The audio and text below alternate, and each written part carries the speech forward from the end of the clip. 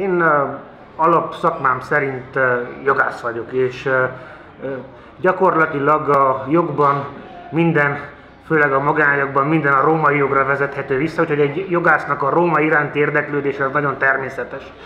Ez kapcsolódott össze a fotózás iránti több évtizedes szenvedélyemmel, kiskorom óta fotózok, és ugye a téma és a fotózás így megtalálták egymást, és gyakorlatilag ma már nagyon sok helyszínen fotóztam római romokat, sok ezer fotóm van, és ebből hoztam el ma néhányat Sepsiszentgyörgyre.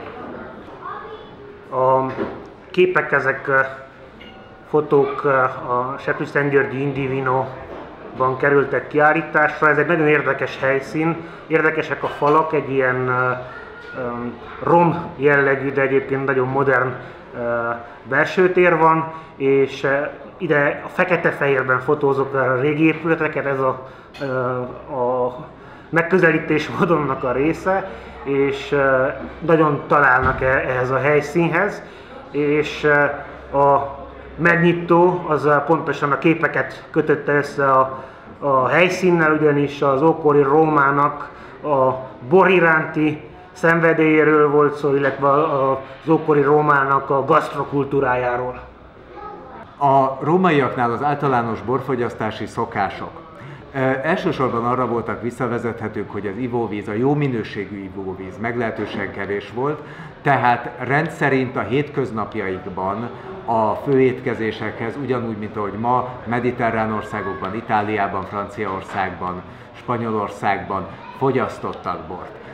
Egyrészt fogyasztottak bort a szabadok, természetesen vízzel higítva, tehát gyenge új borokat fogyasztottak napközben az étkezésekhez, illetve bort kaptak a rabszolgák is, csak egy jóval kevésbé minőségi terméket, amelyeket be kell vallani időnként legalábbis amennyire a forrásokból, például az idősebb Kátónak, az agrikultúráról, a mezőgazdaságról írott munkájából tudjuk, olyan fűszerekkel, illetve olyan egyfajta sózott vízzel higítottak, a sózott víz hal tépből állt elő, amelyek azért a mai ízlésünknek nevezetesen az az enyhén halas, sós bor ízvilága valószínűleg hozzá kevésbé állnak közel, de értelemszerűen a szabadok ennél jobb minőségű bort kaptak. Legalábbis reméljük ezt az ő érdekükben.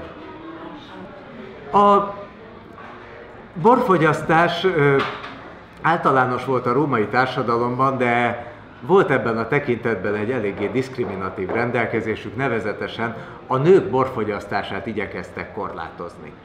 A legarhaikusabb törvényi rendelkezések között már ismerjük azt, hogy a férj a feleséget a családi tanács hozzájárulása nélkül a helyszínen megfenyíthette, uram bocsán meg is ölhette, hogyha vagy házasságtörésen érte, vagy pedig, ha boríváson részegeskedésen kapta.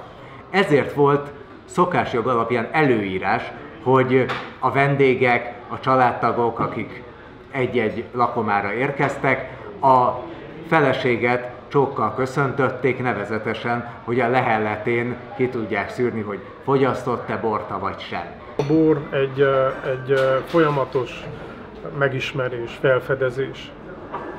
Mint az ember önmagát is folyamatosan megismeri, fölfedezi, környezetét megismeri, és ezáltal teljesebb lesz az élete.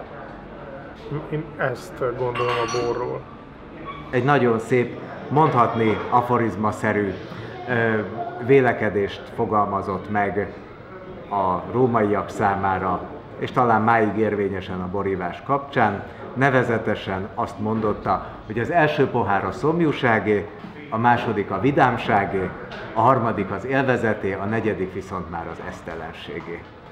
Szerintem ezt máig a mai borfogyasztó társadalomnak is figyelmébe lehet ajánlani Pliniusnak ezt a mondatát.